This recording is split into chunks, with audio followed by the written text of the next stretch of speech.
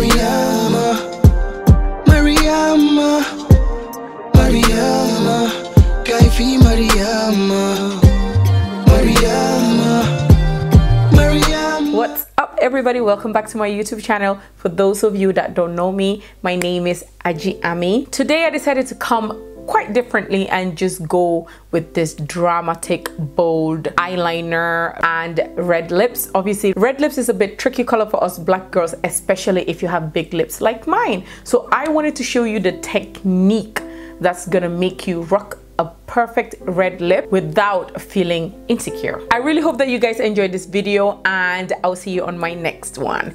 Bye now Okay, trendy babes, let's get started. I'm gonna start by using this Cara Care wax stick. This is a styling stick that I will link down below so you guys can go ahead and purchase.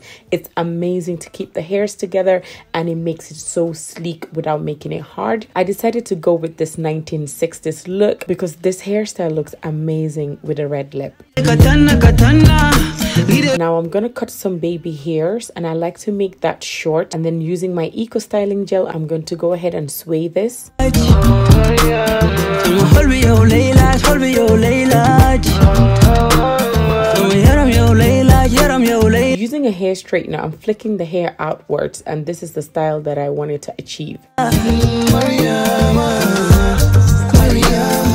The hairstyle was so simple y'all so let's get moving to the makeup. I'm using my Dior Glow Booster just to give my face a little bit of glow.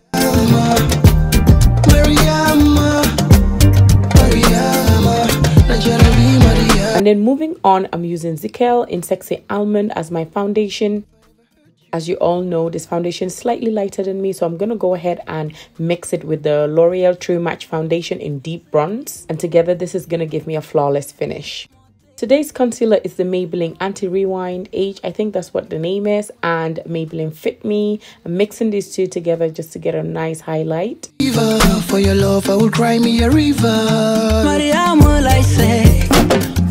Gisate, Mangi wardi. I'm going to go back to my foundation brush and just blend the edges of this highlight. Mariama, My contour stick, I never change you guys. It's the Espresso from Fenty Beauty. I love this product. Mariama, Mariama, Najarabi Mariama. Mariama manyama imejama Relo ma ewo na nyangal Serolo ma bere butanga Jololo mukti aloho Just getting into a little bit of a reverse contouring here. So I'm using the remaining of the highlight from my blending brush just to carve that. Using my Laura Mercier setting powder in translucent, I'm going to set my face. Mariama, Mariama,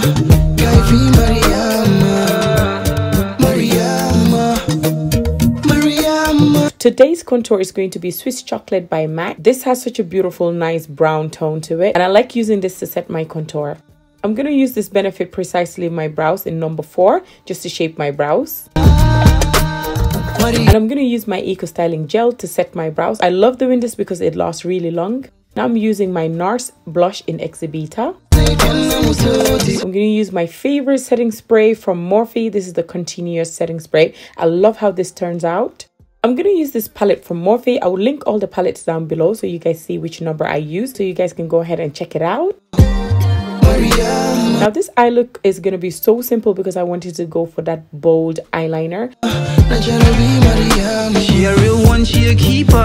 Najarabi Mariama. She a real one, she a keeper The feelings never gone niggas deeper Mariama dukuban, she a winner An independent one, musonyima Using my Inglot number 77 AMC gel liner, I'm going to go ahead and do such a bold eyeliner. Now I'm doing a cat shape one because I wanted to create a retro 1960s look. I'm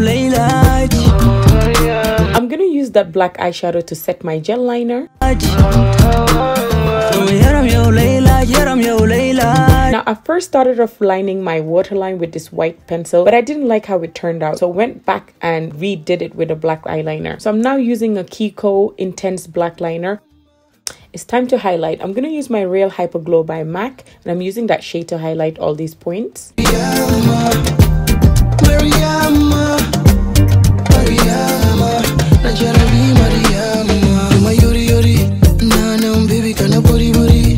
never hurt you. I'm sorry, sorry. Man up now, buddy. Going back to my gel liner, I'm going to go ahead and create a beauty spot. Ooh, baby,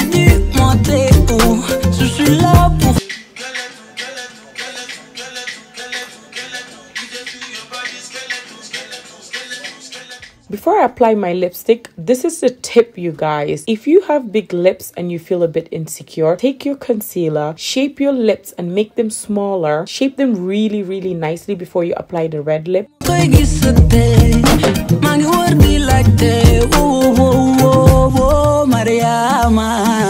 Now I'm just going to blend that concealer out and also set it with my Laura Mercier setting powder so the concealer doesn't melt throughout the day.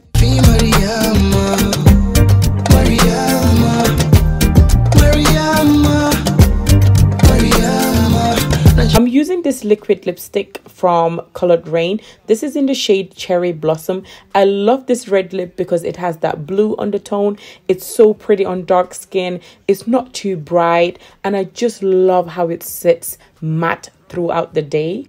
As you guys can see, I'm carefully applying this red lipstick because red stains really badly. So please be very careful and take your time when you're doing this step.